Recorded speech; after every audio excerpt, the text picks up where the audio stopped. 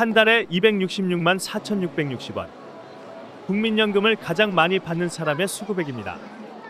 2018년 단 10명에 불과했던 200만 원 수급자는 4년 뒤 5,410명, 그리고 지난해는 3배 이상 늘었습니다.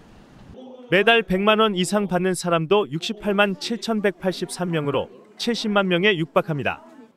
200만 원은 50대 이상이 생각하는 개인 기준 노후 적정 생활비보다 약 23만 원 정도 더 많습니다. 때문에 이 돈을 고정적으로 받으면 은퇴 후 생활에 큰 도움이 될 텐데요. 단 연금액은 가입 기간이 길수록 낸 보험료가 많을수록 커지겠죠. 물론 노후 대비가 의무는 아니고 자발적으로 가입하는 사람은 계속 줄고 있습니다. 이탈을 막기 위해 35년 된 제도 손질까지 나섰는데 최근 더 내고 더 받자에 모인 시민 의견이 어떻게 반영될지 관심입니다.